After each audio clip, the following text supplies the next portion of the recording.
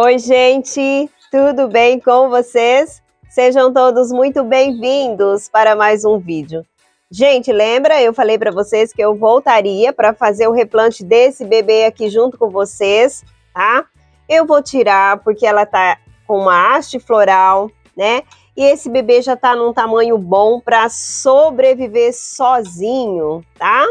Você que está passando aí no canal pela primeira vez está gostando do conteúdo, eu quero te convidar a se inscrever, porque aqui eu sempre vou deixar uma dica para você iniciante no cultivo das orquídeas. Pessoal, não esqueçam do like, tá? É muito importante para a recomendação dos nossos vídeos. Vocês sempre me perguntam, Lu, qual é o tamanho ideal para eu estar tirando o bebê? Gente, a raiz tem que estar tá pelo menos com 5 a 10 centímetros, com duas raízes grossas. Ó, pelo menos duas raizinhas grossas. Ela tem essa raiz aqui e tem essa raiz aqui. Então, eu vou tirar... Primeiro, eu vou descolar essa fita do copinho aqui, tá, gente?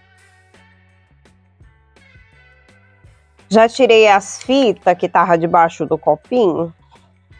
Agora eu vou ver se eu tiro por aqui, que eu quero que vocês vejam como ele está, né? Após o uso do copinho. Eu coloquei um copinho bem fraquinho aqui, gente, só para segurar o esfagno mesmo.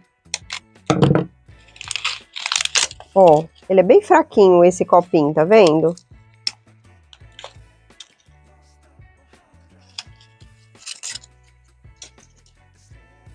Olha, gente, quando eu falo para vocês que a minha região é muito seca, olha, posso tirar o copinho. A secura desse esfagno, gente, eu reguei ontem à noite. Olha a secura desse esfagno. Nem parece que foi regado, gente. Aqui tá num período tão seco que vocês não têm ideia. Não vou puxar esse esfagno, tá? Tem uma parte aqui que tá grudadinha. A haste, ela tem este nozinho este nozinho. Eu vou cortar aqui próximo do bebê, no segundo nozinho aqui, ó, tá, gente? Bem aqui eu vou cortar, ó.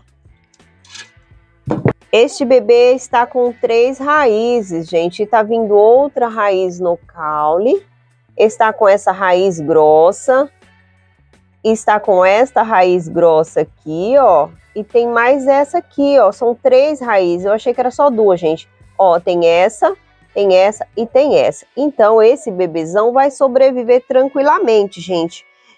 E essa mãe agora vai é, focar a energia toda para essa floração, porque ela estava é, mandando energia para o bebê e mandando energia para essa haste floral, né?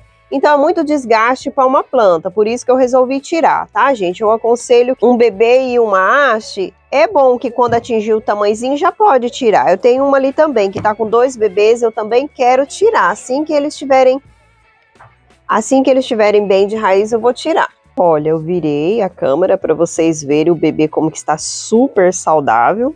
Olha que gracinha, quantas raizinhas, tá vendo? Ó, três, ó essa, essa e essa, gente. Ele tá super saudável. Vamos replantar agora. Eu escolhi este vasinho de barro aqui, tá? E eu quero fazer um cultivo sanduíche nele. Eu vou fazer uma camada generosa de esfagno aqui, tá?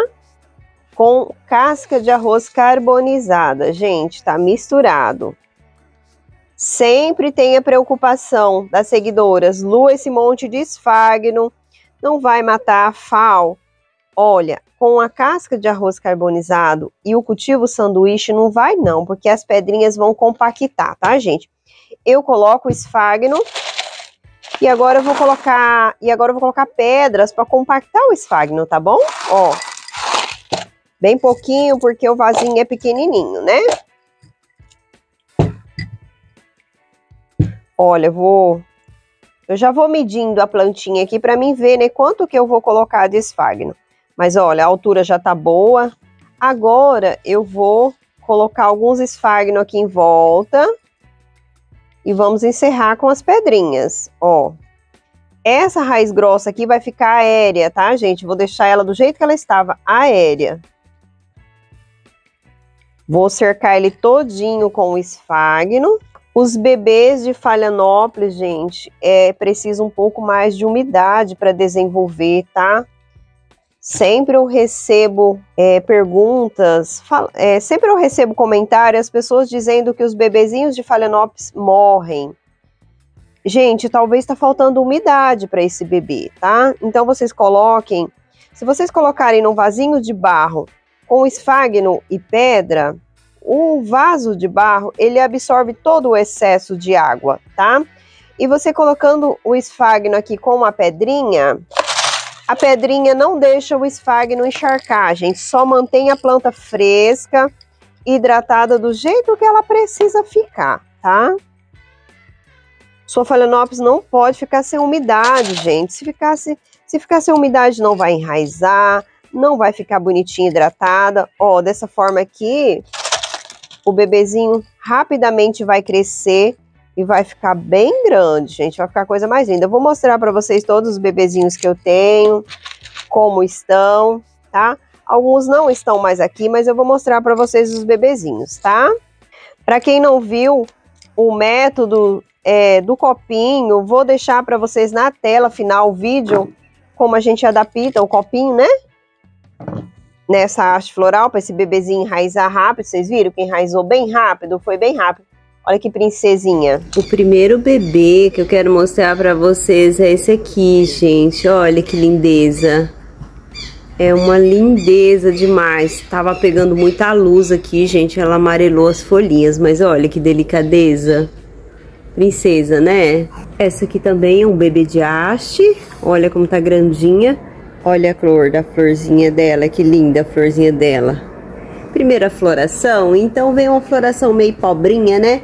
Mas olha essas raízes, agora já tem outra haste. Esse aqui ainda tá no copinho, começando a enraizar agora, gente. Demorou um bocadinho, tá no método de hidratação, mas já tá bem lindo. Olha que gracinha. Olha, gente, quem se lembra desse bebezinho aqui, ó? Eu acho que eu replantei ele junto com vocês. Olha que amorzinho. Gente, aqui tá tão seco o tempo, que tá tão complicado para manter as plantas hidratadas. Olha, gente, a secura que tá esse esfagno. Mas olha essas raízes, que show. Vejam bem, que coisa mais linda. Vocês também não estão conseguindo um bom enraizamento nos bebezinhos das Phalaenopsis? Então, gente, cuida da umidade que você vai conseguir. Para quem não viu, a técnica do copinho, vou deixar aqui para você, tá? Muito obrigada a todos que estiveram comigo até aqui. Fiquem com Deus e até o nosso próximo vídeo.